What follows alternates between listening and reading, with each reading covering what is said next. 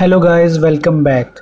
In this video, I will show you how to use DHT11 temperature and humidity sensor with the Node MCU module and then get the measured data directly over the Android smartphone.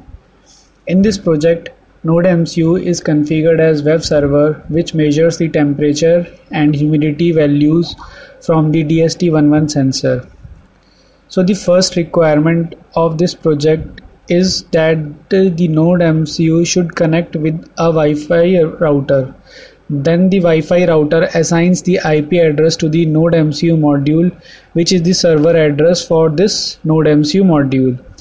Then the DHT11 application running on the Android phone will connect uh, with the web server module through the Wi-Fi router and then get the temperature and humidity data from the node MCU module now see now let's see how this application works.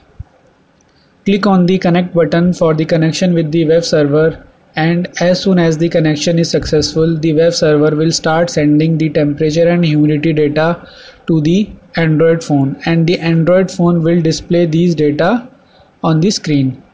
Disconnect button is used for the disconnection with the web server and exit button is used to exit the application to download the code, click on the description uh, description of this video.